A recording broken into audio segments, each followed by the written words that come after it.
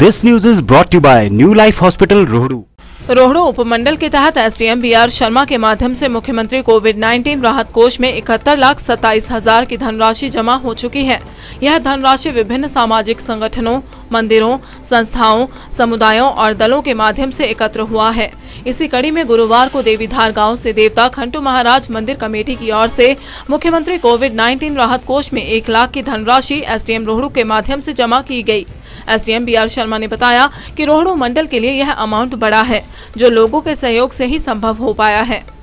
और सभी लोगों का धन्यवाद करना चाहूँगा कि हमारे को इस समय जो ज़रूरत है, सभी सोशल डिस्टेंसिंग बना कर रखने की कोशिश जारी है। सभी लोग मास्क पहन रहे हैं, इसके लिए धन्यवाद। और जो नहीं पहन रहे हैं, उनसे अनुरोध रहेगा कृपया मास्क पहने। जहाँ तक जो कंट्रीब्यूशन की आप बात की है रोडू मंडल में भी विभिन्न समुदाय के सभी लोगों ने जो है कंट्रीब्यूशन दिया है।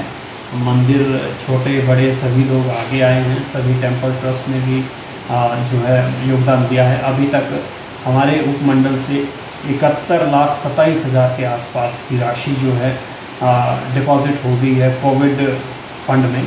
और ये बहुत बड़ा अमाउंट है पूरे उपमंडल में जो एकत्रित हुआ था जो कि इस महामारी से लड़ने हेतु स्टेट गवर्नमेंट का जो अकाउंट है स्पेशल अकाउंट उसमें डिपॉजिट करवा दिया गया है।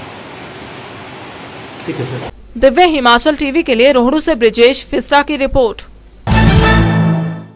New life hospital Rohru gynae radiology और जनरल ओपीडी की सेवाएँ लोगों को प्रदान कर रहा है। हॉस्पिटल में अति आधुनिक अल्ट्रासाउंड मशीन व सभी प्रकार के टेस्ट दवाइयाँ ईसीजी व एक्सरे की सुविधा उपलब्ध है। Gynae specialist doctor Pawan Jhalta radiologist doctor Vikas Sharma व doctor Dilip Negi, general physician, अपनी सेवाएँ दे रहे हैं।